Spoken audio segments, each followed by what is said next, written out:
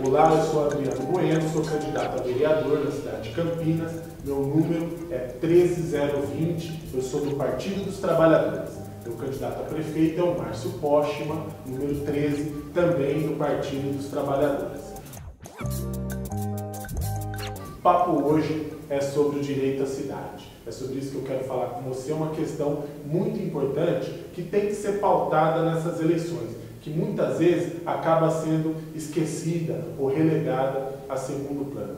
Todos nós temos o direito de usufruir da nossa cidade. A cidade é nossa. Mas tem uma parcela da nossa cidade que não pensa assim, que pensa que a cidade é só para ela. Uma parcela da cidade, mais especificamente uma burguesia, né, a elite, uma classe dominante na cidade de Campinas, pensa na maioria, no povo campineiro, no trabalhador principalmente, essa minoria pensa na maioria só como mão de obra nas suas empresas para produzir e também como consumidores para comprar aquilo que é produzido nessas empresas. Ora, essa lógica é muito ruim porque ela nos desumaniza. Né? A gente acaba existindo só para produzir e para consumir. Né? E veja que contradição. A maioria da cidade de Campinas existe para produzir riqueza para uma minoria na cidade de Campinas. O trabalhador ele é reduzido a ser uma fonte de lucro para o burguês. Né? O povo só serve para gerar lucro para a classe dominante. Isso é muito cruel. Né? E é por conta desse tipo de concepção que a cidade está abandonada da maneira como ela está abandonada. Né? Não há cuidado com as praças, por exemplo. Quando tem a praça, não tem banco, porque não interessa para eles o convívio social.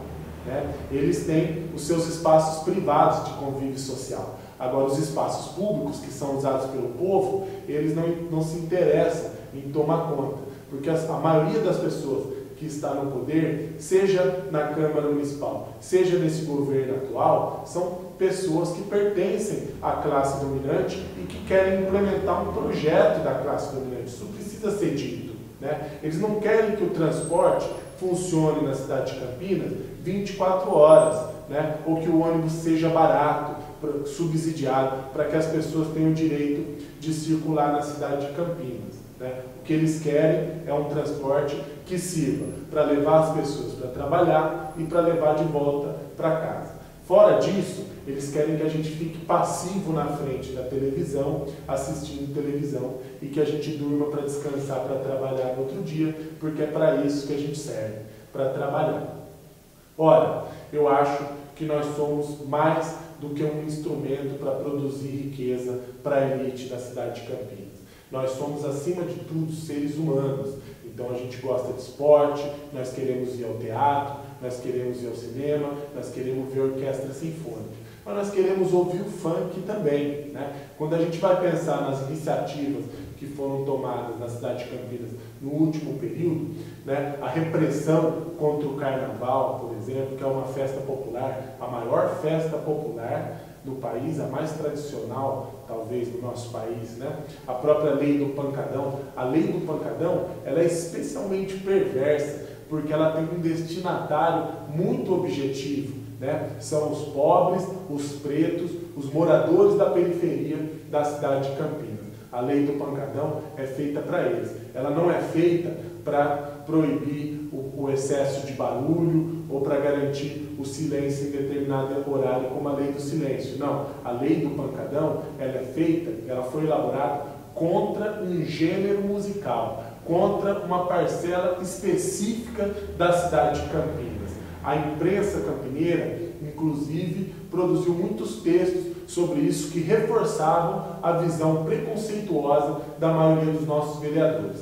Ora, nós temos que ter na Câmara Municipal de Campinas um vereador que pense diferente sobre tudo isso. Nós temos que discutir o planejamento urbano, que não deve ser um assunto exclusivo de técnicos ou exclusivo do governo. Todo cidadão na cidade de Campinas tem que ter o direito a discutir o planejamento da cidade. Participação popular não é um forte desse governo. Né? Nós vamos ter que impor isso na marra através da nossa luta dentro do Legislativo, através da luta dos movimentos populares na rua. O Legislativo é apenas mais uma trincheira onde nós podemos pautar esse debate.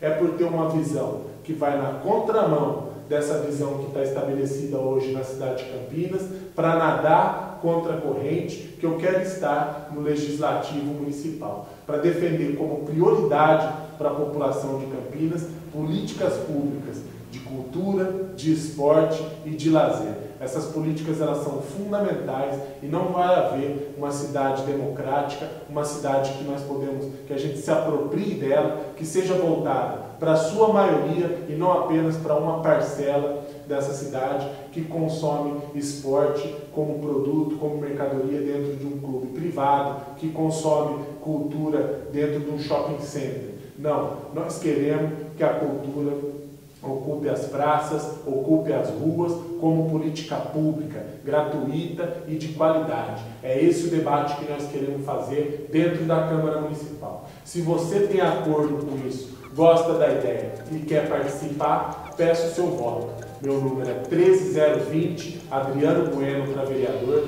pelo Partido dos Trabalhadores. Meu candidato a prefeito é o Márcio Postman, número 13.